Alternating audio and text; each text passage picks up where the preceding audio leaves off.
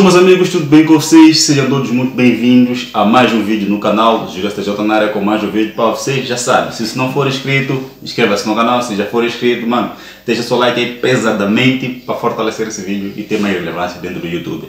Como você viu pelo título, a gente vai reagir a uma venezuelana que provavelmente está no Brasil e fez um vídeo 10 coisas que eu não entendia do Brasil quando saí da Venezuela. Você não sabe que, para quem não sabe, mas todos os brasileiros devem saber que houve uma onda de imigrantes venezuelanos saindo do Brasil, da Venezuela para o Brasil, fugindo o custo de vida né, que tem na Venezuela, que é bem pior, muito pior. E também está, vocês sabem que a Venezuela está vivendo uma ditadura com o Nicolás Maduro fazendo e desfazendo. Então, consequentemente, tem pessoas que acabaram ficando insatisfeitas e saíram dos seus países e tentar uma vida melhor no Brasil. Que é no caso da moça aqui que a gente vai reagir hoje. E ela fez um vídeo, hum. fiquei interessado e vou reagir convosco. Então, deixa o like aí, subscreva-se, compartilha o vídeo, me siga nas redes sociais que é Julius TJ, que é o meu Instagram. E vamos, vamos ver esse vídeo aqui, acho que vai ser interessante a gente ver. 3, 2, 1, bora pro vídeo! Choques culturais. Uma coisa que a gente não experimenta nem sabe que existe até que sai do seu país e pisa terras estrangeiras. É o que eu quero falar hoje com vocês e minha experiência dos choques culturais que eu tive aqui no Brasil quando cheguei. Como muitos de vocês sabem, eu sou da Venezuela, tenho dois... Vamos lá, primeira coisa, o sotaque dela, tem um sotaque muito bonito.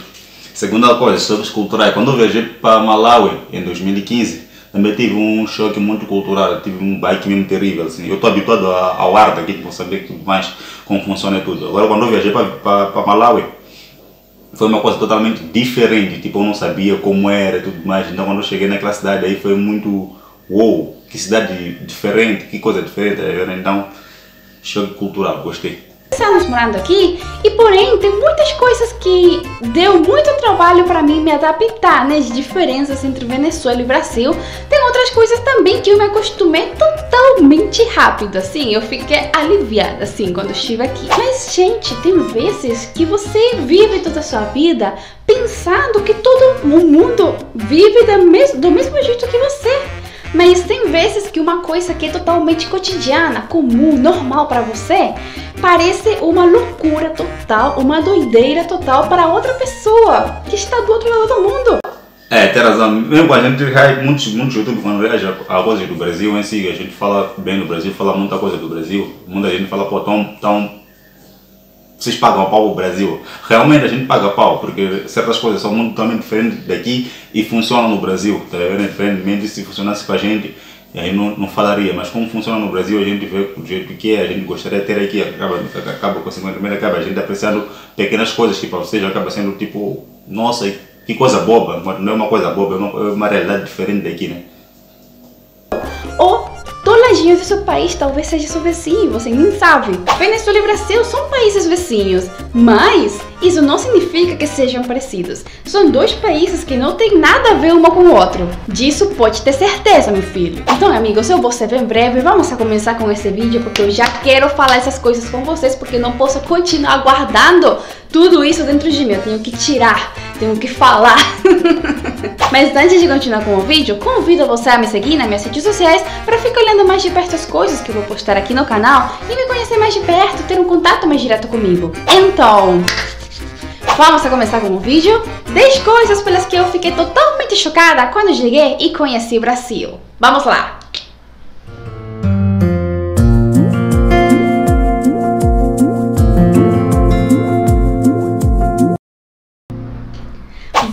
Dar uma olhadinha aqui na minha notebook, né? Que eu tenho aqui meus apontes para não esquecer nem deixar passar nada, né? Vamos ver. Número 1. Um. Esse daqui não é, não é ruim não, senão que foi um pouquinho curioso para mim. Eu percebi aqui, quando cheguei ao Brasil e comecei a fazer compras, comecei a visitar shoppings, né?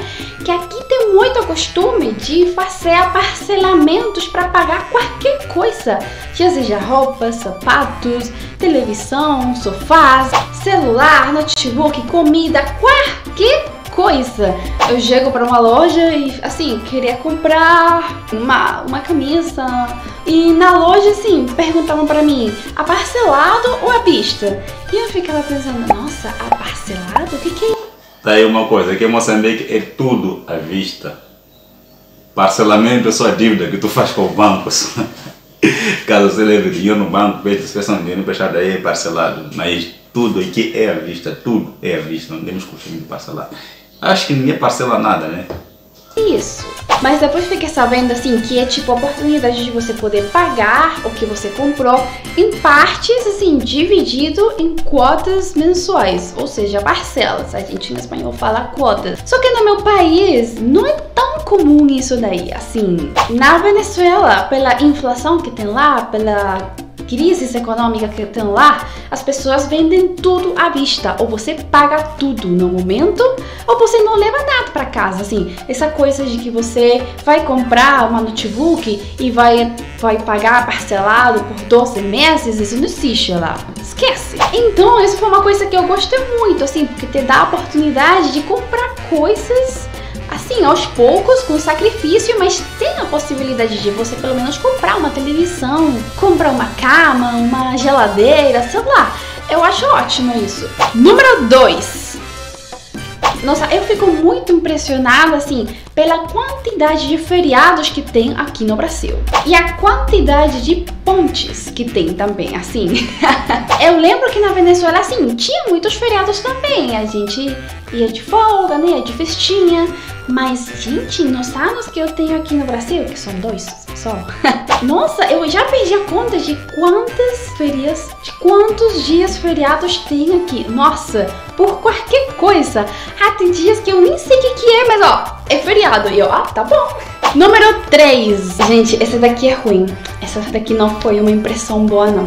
Eu ainda estou processando. Até o dia de hoje, eu ainda não consegui experimentar ou fazer isso daqui. A famosa vitamina de abacate. Gente, em que cabeça cabe comer abacate doce? Com açúcar, com leite, como se fosse um milkshake?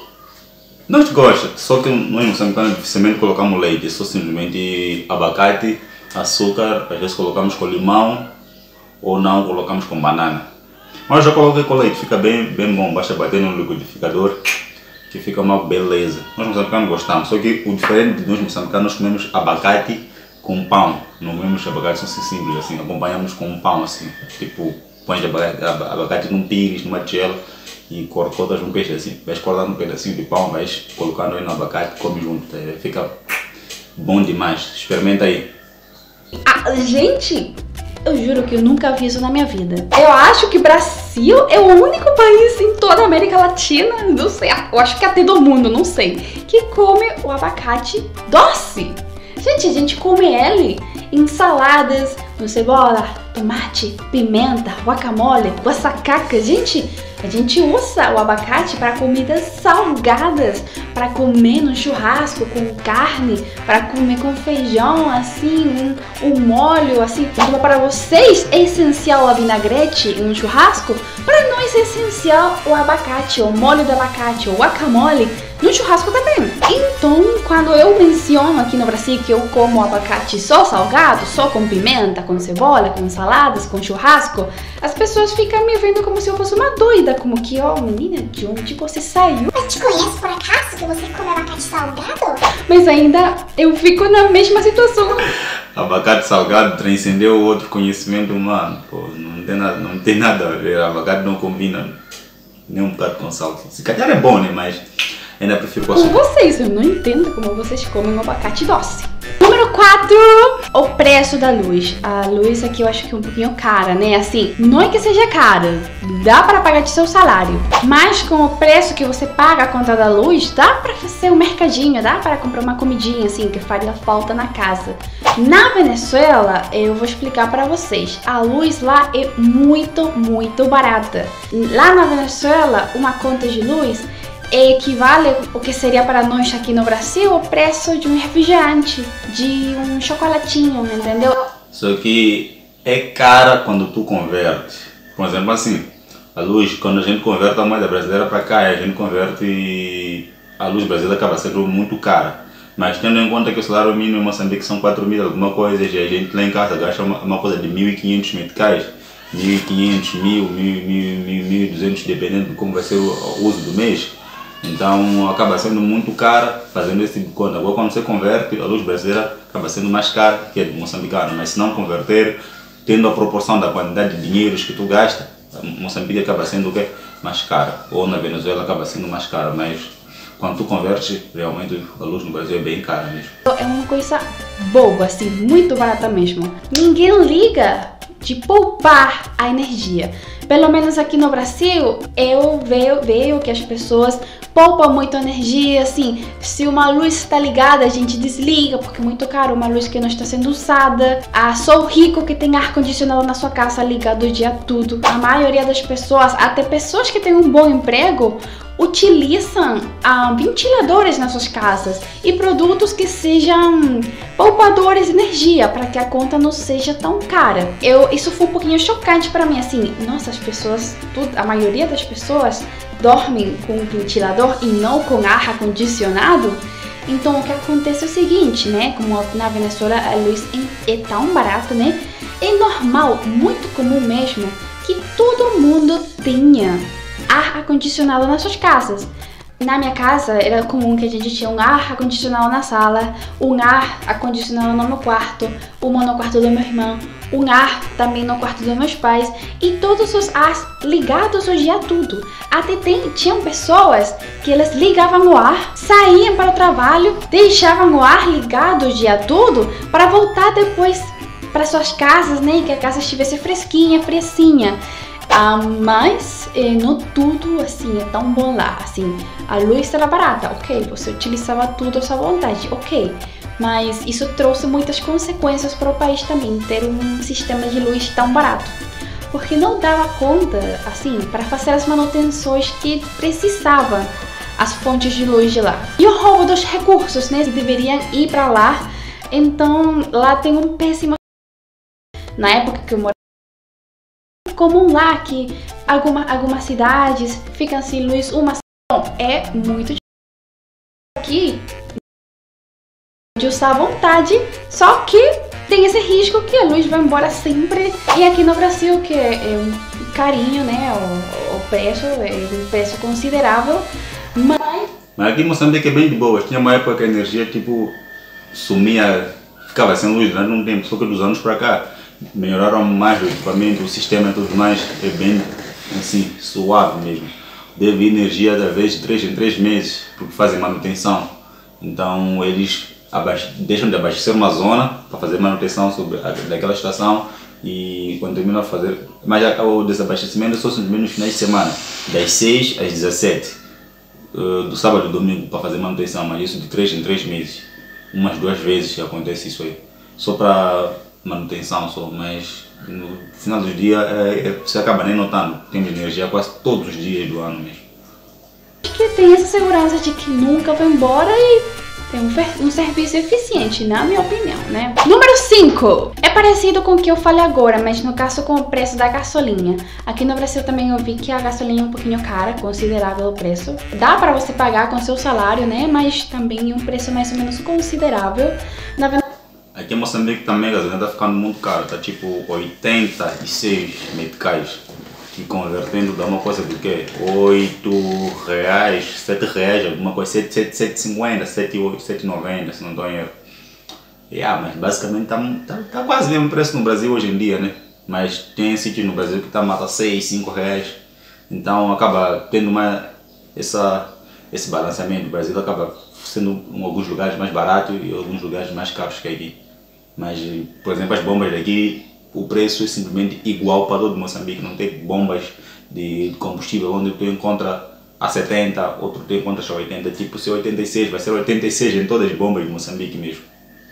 Venezuela é o mesmo caso. Como no Brasil funciona em estado, onde que o Estado pode exigir menos imposto de combustível que entra no Estado, acaba consequentemente barateando o combustível. Aqui em Moçambique não é preço único para tudo. Tipo, o governo que, diz, é, é, é que coloca impostos sobre combustível que entra. Consequentemente, as bombas de combustível acabam tendo paridade nos, nos preços de combustíveis, assim, sim.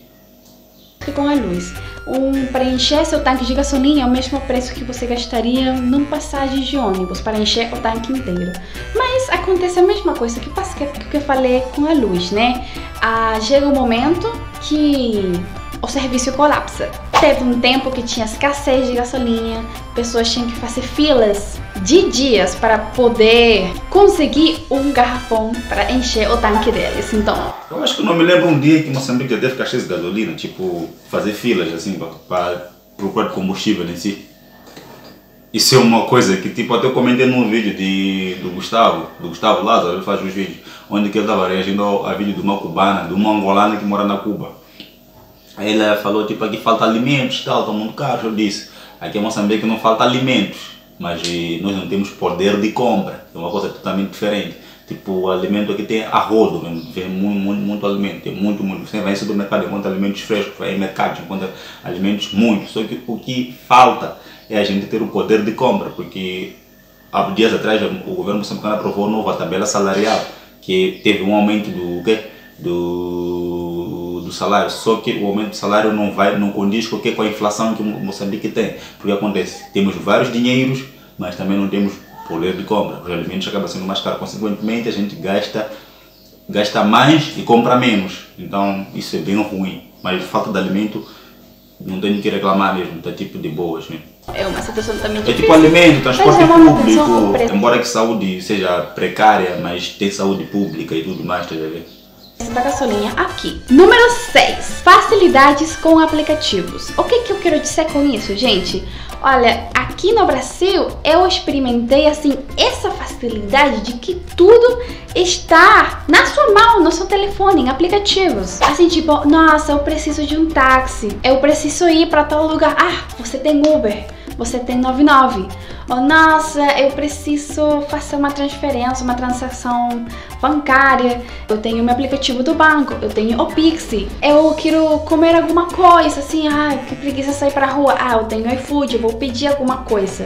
Então, no meu país é uma coisa que não está habilitado, assim, pela mesma crise econômica, não existe Uber lá, não existe iFood lá. Transferências bancárias também são um pouquinho difíceis de fazer, porque os sites dos bancos sempre estão caídos, então é difícil. Então, essa é uma coisa que chamou muita minha atenção daqui, a facilidade da, tecnologia, dos aplicativos que facilitam a vida das pessoas. Nossa, eu desejaria tanto ter Uber lá na Venezuela, facilitaria a minha vida como vocês não têm ideia. Eu sei que em outros países da América Latina imaginam uma vida sem Uber Eats, sem iFood, sem Uber. Número 7. O saludo de beleza. Foi uma coisa pela que eu também fiquei muito chocada aqui no Brasil. Por quê? Você, como estrangeiro, quando chega pra cá pro Brasil, é muito comum que você, ah, está numa festa, está na rua e uma pessoa falar pra você: E aí, beleza?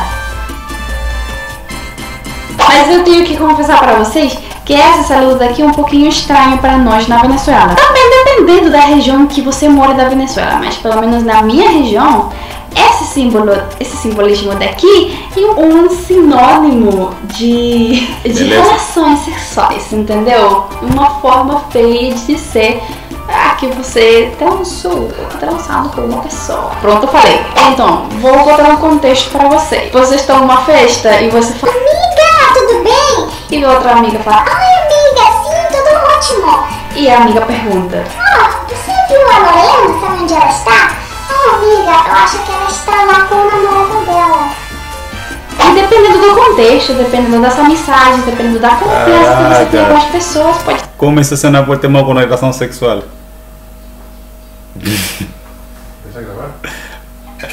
É, como isso ter uma conotação sexual?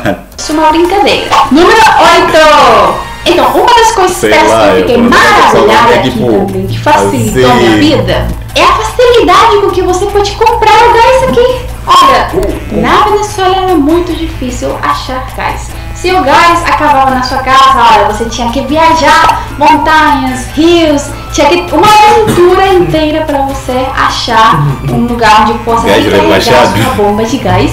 E também tinha que fazer uma fila dos infernos também para poder conseguir, que também podia ter uns dias. Mas a coisa que eu adorei daqui é que assim, tem tantas companhias de gás assim, que simplesmente está numa ligação. Você faz. Oi, tudo bem? E o moço do gás, oi, tudo bem? Em que posso te ajudar? E você fala, oi moço, eu quero uma bomba de gás, qual é o preço? E o moço fala para você, e aí moça, são uns 75 reais. E você tipo, ah, tudo bem, quero. Posso trazer para o endereço da minha casa? e o Caralho, cara, tem um gajo delivery. Caralho. ó, tudo bem, em 5 minutos estamos ali. Gente, e coisa de minutos, passam que 5, eu não 10 sabia, minutos e já cara está na sua casa, traz a bomba de gás pra Brasil, o gajo é delivery. Tipo, se eu só ligar, tipo, acabou o gajo, os caras atrás gás no cubico. Aqui também. Aqui também. Aqui é delivery? Sim, tem pessoas. Empresas que fazem. Oh, não sabia. Eu Eu tô acostumado a ir comprar. Pior é aquela botija de gás lá de casa é assim. Gigantesca, 11 mano. quilos. Hã? 11 quilos. A gás de casa? Olha mais eu. São 18 quilos a 20 aquilo. Ah, aquela mais grande. Ah, são, são, yeah, varia de 18 a 19 quilos. Aquela de, de casa não é de 11 quilos, né? Por isso, por isso eu preparei aquela botija de gás e falei que botija rebaixada. Dá pra usar como um pra você, troca a bomba de gás pra você e leva a obra e tudo. Talvez seja uma coisa comum normal pra vocês, mas, mas para mim não, gente, para mim não.